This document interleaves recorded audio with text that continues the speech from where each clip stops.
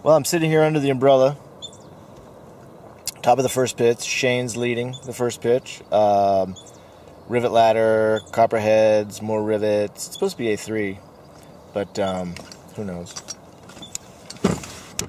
Um, it was hot yesterday. It's supposed to be probably 10 degrees cooler today, and yet 10 degrees cooler again tomorrow. So we're we're not doing too bad as far as the temperature department. Um, back up to 80 on um, today's Monday, Tuesday, Wednesday, but then back down to 70 on Thursday. So we're looking great.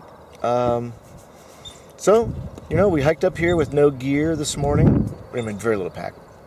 Jumared one rope. Had everything organized. Shane took off. I'm here under the uh, umbrella, enjoying myself.